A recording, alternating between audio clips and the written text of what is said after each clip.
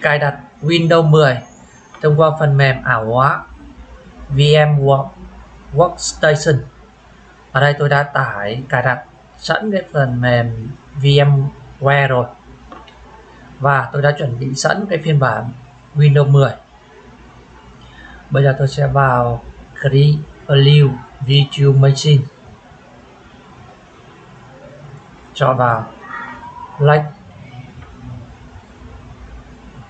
Chọn vào browser, tìm đến cái file, cái thư mục chứa Windows. Ở đây của tôi là Windows 10 phiên bản 64 bit. Mở lên. Chọn vào lách.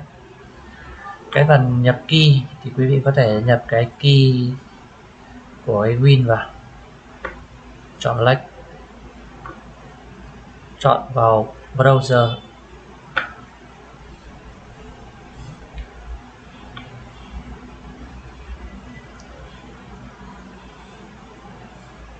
Tôi sẽ chọn vào cái thư mục để chứa cái Win 10 này. Chọn lệch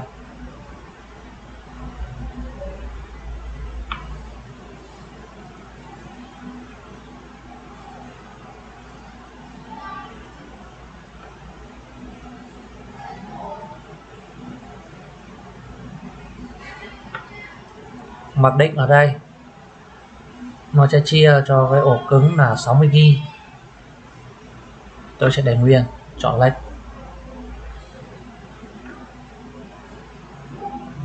Ổ cứng 60 GB này, pin 10 64 bit. Ok, chọn finish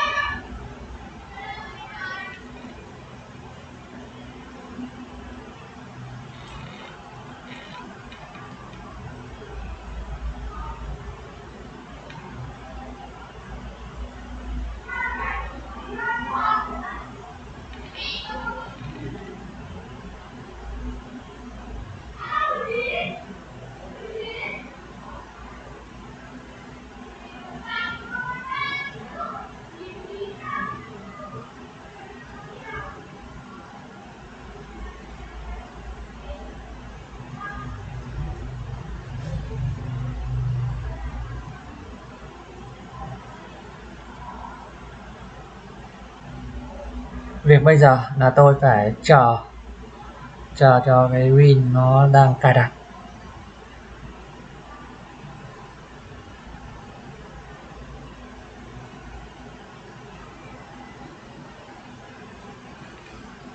Đó Windows nó đang cài đặt đây này, và nó đang copy file.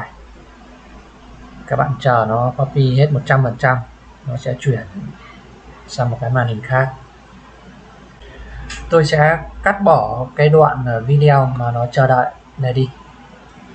Và sau khi nó copy và cài đặt xong, tôi đã được cái màn hình Windows 10